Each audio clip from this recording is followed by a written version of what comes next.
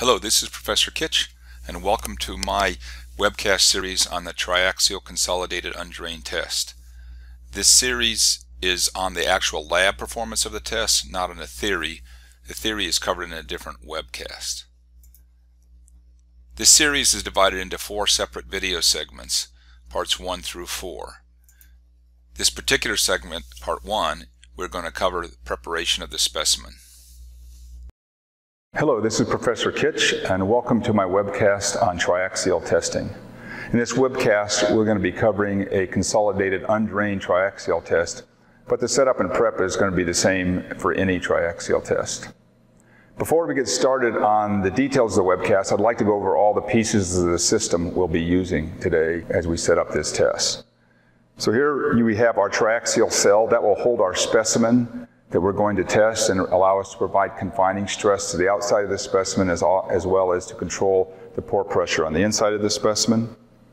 This cell will be connected up to this triaxial panel.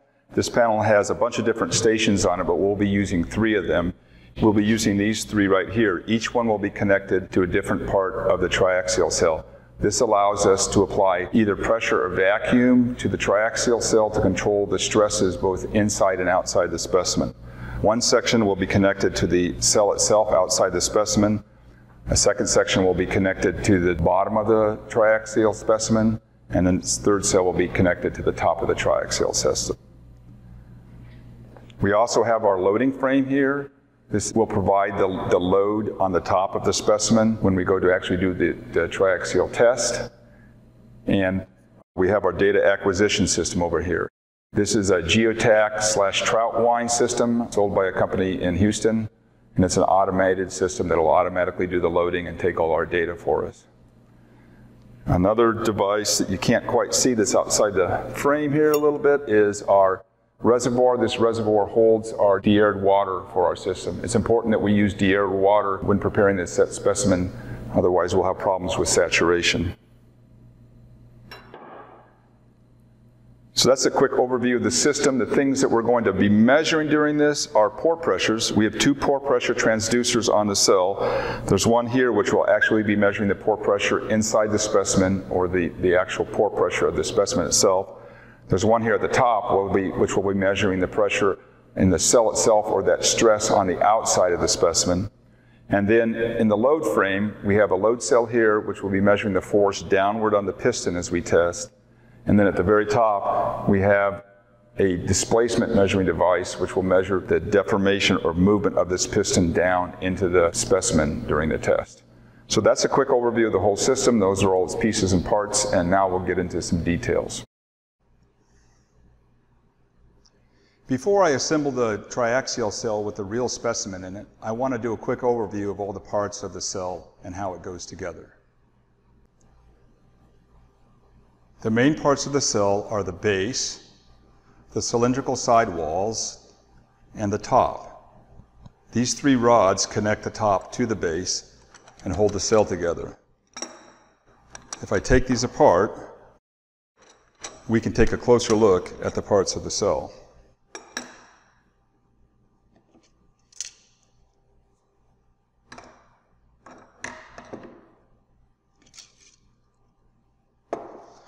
First, let's take a closer look at the base of the cell. The base of the cell has these four valves plus a fifth port here. These two red valves are connected to these the two tubes that go in near the center of the base, and the two black valves are connected to these two tubes that go to the outside of the base. The two red valves are connected to this pedestal that goes that's on the bottom of the base, and they're connected to these two drainage ports in the pedestal. This will be connected hydraulically to the base of the sample. So the two red valves are going to be connected to the base of the sample. The two black valves are connected to these drainage lines, which will be put on the top of the sample. So the black valves will be connected to the top of the sample. The red valves will be connected to the base of the sample. This fifth port is connected to this small hole right here, which allows fluid to be pushed into the cell or taken out of the cell itself. That's the fluid outside the specimen. So the red valves are connected to the pore fluid inside the specimen at the base. The black valves connected to the, to the pore water in the specimen at the top. And the center port connected to the cell fluid outside that's going to pressurize the cell. Now, when we assemble the, the specimen, it'll go in a sequence something like this. We have our base pedestal, and on top of that we'll go a porous stone. On top of a porous stone will go a piece of filter paper. And on top of that will go our soil specimen. I'm just using this foam dummy specimen to illustrate. On top of the specimen, we'll have another piece of filter paper, and on top of that, another porous stone. On top of that whole assembly goes our top cap. Now we need to separate the soil specimen from the fluid outside the specimen that's going to be used to confine it. And to do that, we're going to place a membrane, a latex membrane like this, around the outside of this specimen. So I'm going to take this membrane, stretch it, and put it over the outside of the specimen. We have a special tool to do that, and I'll show it to you later. But for right now, you can imagine that this latex membrane is completely surrounding the specimen all the way around. And we'll seal that membrane off to the top cap and the, and the pedestal. And once I have that done, I can connect these two drainage lines to the top of the specimen. Again, so the red lines are connected to the base, the black lines are connected to the top. Once I have that all assembled, I can put the cylindrical sidewalls back on the cell. And I can put the top on the cell. When I put the top on the cell, I'll be careful to make sure that the loading piston is connected to the cap. And once I have that all assembled, I can put the rods back on to hold the top to the bottom.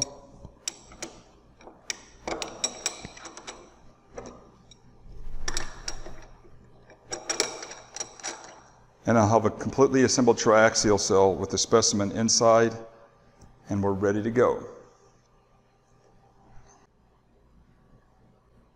Now we're going to trim our specimen and get it ready to go into the triaxial cell. To do this, you'll need your specimen. Uh, you'll need a water content tin because we'll take the trimmings from the specimen to get a water content of the, of the specimen before the test. This you'll have to have already taken a tare weight and recorded that on your data sheet. You'll need a good soil knife so you can do the trimming. And then you'll need some kind of a device to help you get a good square edge on the specimen. We're using a cylindrical trimming device. There's other ones that are rectangular shaped, but you just need something that's sort of like a miter box to allow you to get a really square edge.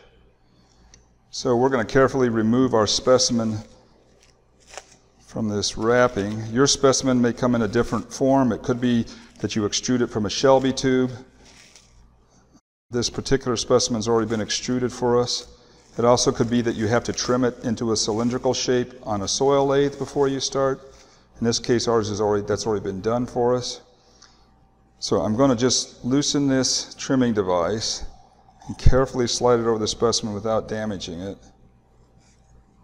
And then what I'm going to do is push it so it just sticks out over the end of the trimming device just a little bit, just enough that I can trim it off. And I'm going to tighten this down. Not very tight, I'm just going to tighten it enough that the specimen doesn't slide around. This works really well for this kind of specimen. For a very soft specimen, you can't really trim it with um, a wraparound device like this. And then I'm going to take my soil knife I'm going to start trimming the specimen, and I'll trim it over the water content tin. Now you want to start at the edge of the specimen and work your way into the middle. You don't want to just start and take one big cut all the way across the top because you'll rip the specimen and you won't have a good smooth surface at the top when, when you're done. Didn't have that adjusted quite right. There we go. And so you trim slowly from the edge.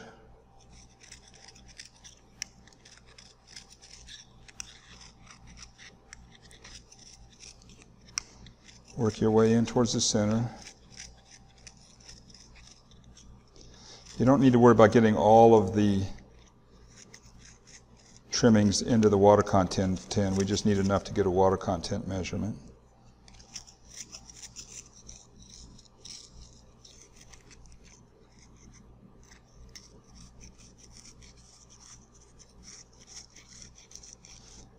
I'm keeping my knife on the edges of this trimming device so that I trim it nice and flat with the edge.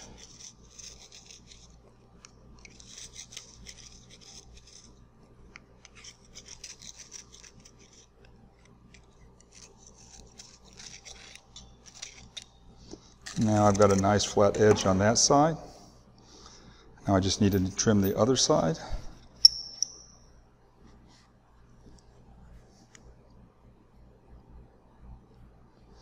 Again, extrude that just a little bit outside there.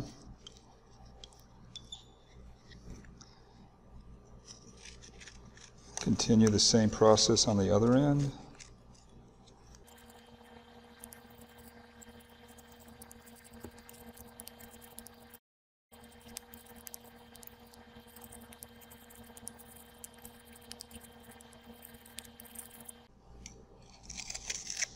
Make sure that's flush with the edge. Now I have my specimen all trimmed. I'm going to loosen this miter box. Take it off carefully without disturbing the specimen. And there we go. Here's my specimen all trimmed up and ready. Now I just need to measure the height and the diameter of it. And I'll take this water content tin over to the scale right now and get a weight of the moist soil and the water content tin so I can put it in the oven and then just get a water content. So that's the trimming part.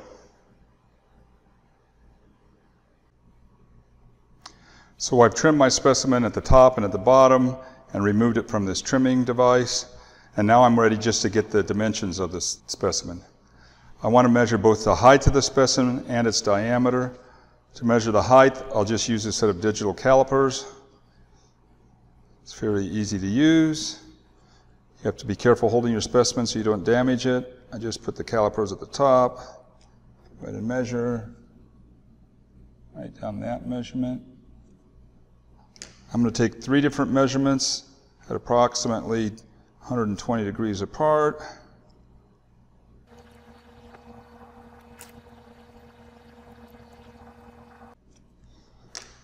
All right, so now I know the height of the specimen. Now I just need to know its diameter. Now we could try and put outside calipers on it to measure its diameter, but there's actually a much more accurate way to do that. And that's with this device called a pi tape. So we're going to wrap this tape around the specimen. And uh, you'll obviously say, well, that's not going to give me the diameter, that's going to give me the circumference. And it is, it's actually measuring the circumference. But the scale of this is not uh, a regular scale. This, this one measures in inches, but the space between these marks is not inches. It's inches divided by 2 pi, so that when I measure the, the circumference, it's going to directly read off the scale the diameter. So it's called a pi tape. It's actually very accurate. It's accurate to at least three significant figures. It, we use a little vernier technology with this to read it, if you're familiar with reading verniers. Again, I'm going to take three measurements one about a quarter of the way down from the top.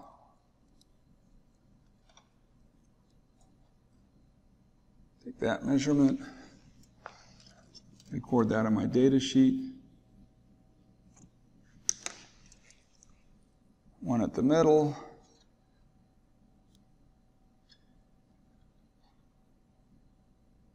Record that on my data sheet.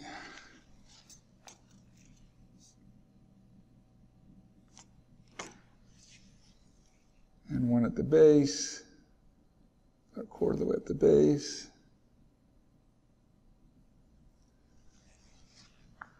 Put that on my data sheet. All right. So I now have my specimen all trimmed. I've measured its height three times. I'll average those for a height. I measure the diameter in three places. I'll average those to get an average diameter. And now the last thing I'm going to do is take this over to the scale and get a weight of the, of the specimen before we start the test.